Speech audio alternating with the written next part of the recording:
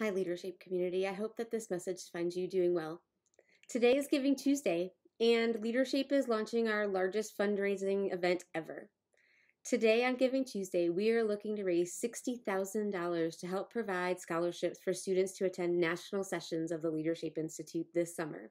That's right. After a three year hiatus, we are back to, to posting national sessions of the LeaderShape Institute. And we are so excited for students from all over the country to gather together to create community and think about their visions and how they want to work to create a more just, caring, and thriving world. As a LeaderShape Institute participant myself, I often think back on my LeaderShape experience and remember the friendships that I created, the relationships and the confidence that I built during those six days was like nothing else I'd ever experienced. Anytime I look at a post it note, I often think about the Vision Marketplace where we go around and give each other feedback on our, on our tomorrow's headlines.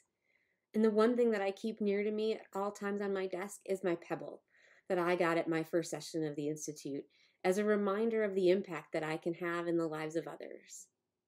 I don't know what that LeaderShape Institute experience was for you or what that memory is, but today on Giving Tuesday, I ask you to think about that. ask you to think about your Institute experience and consider giving back to LeaderShape so we can provide that experience to someone else this summer.